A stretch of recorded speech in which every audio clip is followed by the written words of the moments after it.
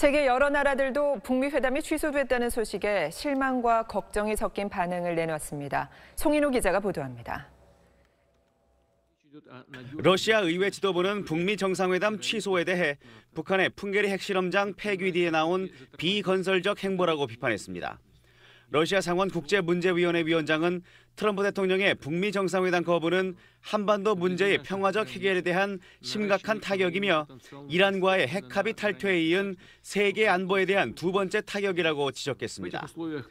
푸틴 대통령은 러시아 상트페테르부르크에서 마크롱 프랑스 대통령과 만난 뒤 기자회견에서 김정은 국무위원장은 그가 약속한 것을 다 실행했다며 대화가 재개돼 만남이 이루어지기를 희망한다고 강조했습니다.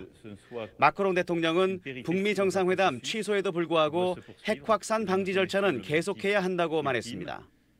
영국 총리실 대변인은 북미 정상회담이 더 이상 예정대로 진행될 수 없다는 사실에 실망스럽다고 발표했습니다.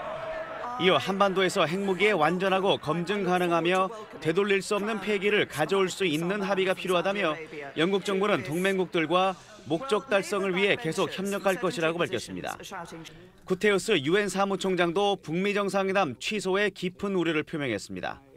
구테우스 총장은 북미 정상회담이 취소됐다는데 깊은 우려를 갖고 있다며 한반도 비핵화를 위해 관련 당사국들이 대화를 이어갈 것을 촉구한다고 강조했습니다. SBS 송윤호입니다.